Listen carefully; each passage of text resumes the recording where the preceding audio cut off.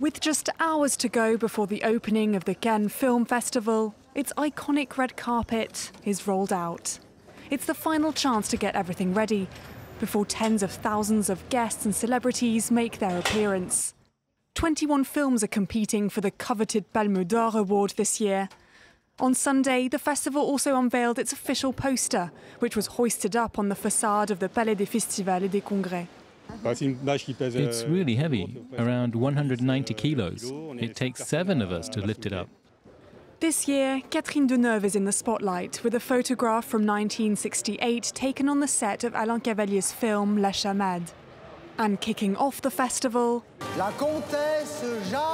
Jeanne du Barry, a film casting Johnny Depp starring as King Louis XV in French. Femme et mon entourage. But Cannes isn't just about the competition. Celebrities will be flocking to the French Riviera for the parties and the luxury stays as well. In the hospitality sector, final preparations are also underway. During the day, we have uh, we have the regular restaurants, and then there is like 100 person walking at the beach, preparing everything to be ready around 9, 10 p.m. It depends. The party uh, start at this time. It's still the calm before the storm. In a few hours, this stretch of coastline will be transformed.